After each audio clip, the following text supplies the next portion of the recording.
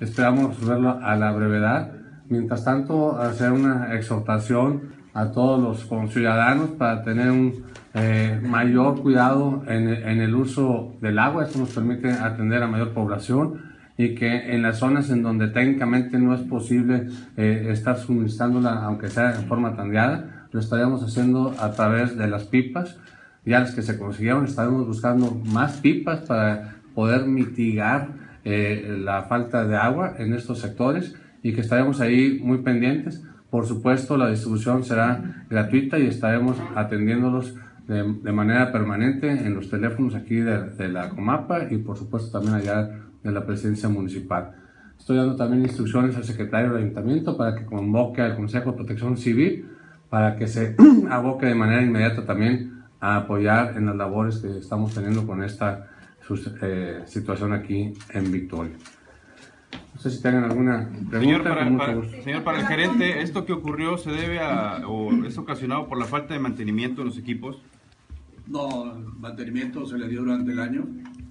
Eh, está por llegar un perito que es el que nos da mantenimiento de Monterrey, está en Monterrey trabajando en la Junta de Aguas y Drenaje Monterrey dando mantenimiento también a, a, sus estaciones, hablamos con él, él viene en camino y bueno, nos dará su peritaje a ver a qué se debió este problema. ¿Con qué frecuencia se dan los mantenimientos y si no se pudo prever esta situación?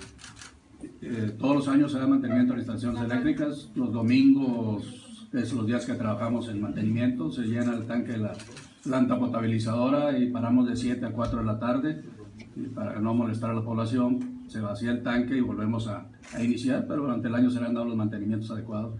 No, no se conoce todavía cuál fue la causa. ¿Pudiera haber sido intencional? ¿Han tomado en cuenta eso? Estamos esperando el peritaje para ver qué es lo que nos determinó a qué se debió este o sea, problema. O sea, no lo descartan, ingeniero, que haya sido intencionalmente. Hasta no tener un peritaje no, quisimos, no queremos especular. ¿En cuánto tiempo creen que pueda ser solucionado el problema? Porque eso es lo que quiere saber la gente.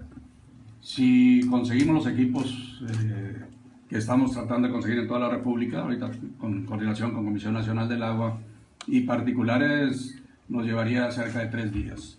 Si no, sería un poco más largo el trabajo porque bueno, hay que instalar un transformador, hay que probarlo, nos llevaría el día de hoy probarlo, cablear, el cableado es lo más complicado, nos llevará unos pocos días más, pero bueno, yo que en el transcurso del día de hoy podríamos ya decirles cuántos días nos llevaríamos. ¿Tiene un costo de lo perdón, la redundancia, la afectación, la reparación?